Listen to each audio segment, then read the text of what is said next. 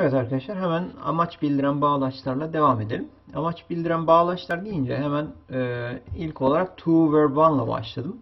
Hani şunu söyleyeyim öncelikle to verb one aslında bir bağlaç değildir. To verb one infinitive'dir ve infinitive konusunda da bu konuya değineceğiz.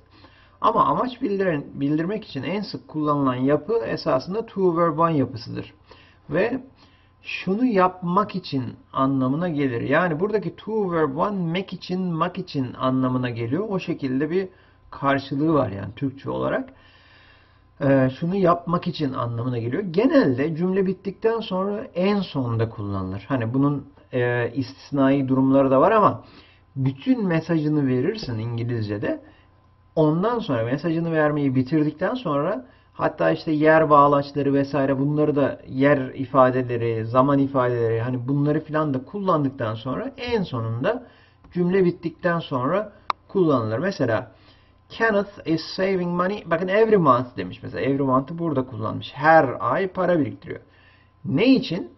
To go abroad. Yurt dışına gitmek için. Burada to go abroad yurt dışına gitmek için ifadesini karşılıyor. Buna infinitive of purpose denir. Infinitive konusunda da buna değineceğiz. You need to get 60 and above to pass this test. Bu testi geçmek için demiş oluyorsun yani. Ee, ya da I borrowed seven books from the library to learn about microeconomy. Gene bakın from the library bir yer ifadesidir. Olsun. Sen bütün cümleni bitiriyorsun önce. 7 tane kitap ödünç aldım Hatta zamanında söyleyebilirsin.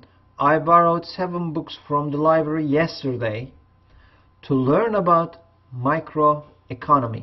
Mikroekonomi hakkında bir şeyler öğrenmek için diye cümlenin en sonunda kullanılır. To verb'ın da en yaygın kullanımı budur zaten yani.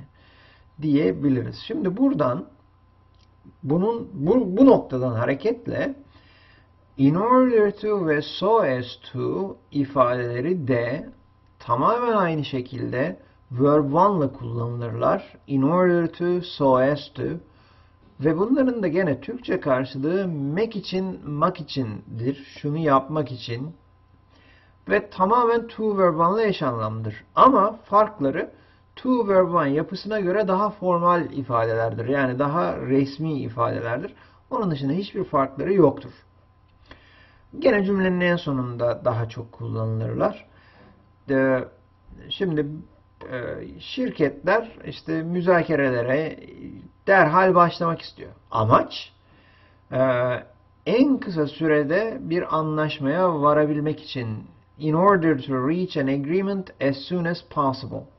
In order to reach an agreement e, bu burası amaç işte. Yani bir an evvel anlaşmaya varmak için in order to bir tane de önde başta kullanılan bir örnek vereyim istedim. Onu da bu şekilde yaptım.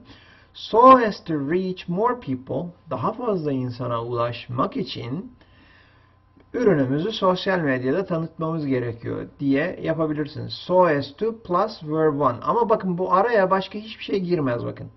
In order to ve so as to ifadelerinde şu in order to ile so as to'nun arasına hiçbir şey girmez. Doğrudan verb one'dır yani. Bu böyle bitişik olarak kullanılır diyebilirsiniz. Make için anlamına geliyor. Bir de çok daha nadir de olsa hani in order to ve so as to'dan daha nadir ya da to verb one'ın daha nadir de olsa so that ve in order that ifadeleri de amaç bildirirler ve cümleyle kullanılırlar.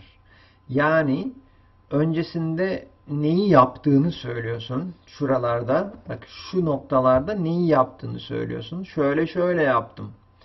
Amaç şurada. Şöyle olsun diye. Şu cümle senin amacın değil mi? Şöyle olsun diye. Bu iki yapı şöyle olsun diye anlamını verirler ve cümleyle kullanılırlar. Ama burada kısıtlayıcı bir durum var. Bu yapılardan sonra genelde can, could, hatta çoğunlukla can ve could, bazen de simple present ve simple past yapıları kullanılabilir. Yani bu ilginç. Amacın var ya senin hani bir amacın var. O amacı sen nasıl ifade edersin? Şunu yapabileyim. Hani buna gücüm yetsin diye. Şöyle olsun diye. Şunu yapabileyim diye. e, demek için can ve could çok çok yaygındır. Geçmişteki bir şey için could'u kullanırsın tabii ki de, değil mi? Ee, kameramı çalılıkların arasına e, yerleştirdim. So that I could get a proper angle. Bakın şimdi so that'ten sonra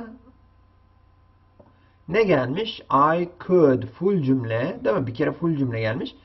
Düzgün bir açı yakalayabileyim diye kuşları gözlemlemek için düzgün bir açı yakalayabileyim diye kameramı çalıların arasında bir yerlere yerleştirdim. Ee, bakın so that'ten sonra e, sen could'u kullanıyorsun. Çünkü bu olay geçmişte olmuş. Ya da gelecekte bir şeyse we will visit many stores. Pek çok mağaza gezeceğiz. In order that we can get the most reasonable price. En makul fiyatı bulabilelim diye e, bütün pek çok mağazaları gezeceğiz diyor. In order that'ten sonra can kullanmışız bakın arkadaşlar. O yüzden bu şekilde düşünebilirsiniz. Gördüğünüz gibi amaç bildiren ifadeler çok çok az. Bu kadardı yani. Ee, so that ve in order that cümlelerle kullanılıyor. In order to, so as to da neyle kullanılıyor? Verb one ile kullanılıyor. En yaygın yapıda to verb one. Amaç bildiren yapılar bu kadardı. Şimdi e, aradan sonra e, doğrudan zıtlık ve normal zıtlık veren bağlaçlara bakacağız. Bunların listesi biraz daha uzun. Zıtlık bağlaçlarında görüşmek üzere iyi çalışmalar diyorum.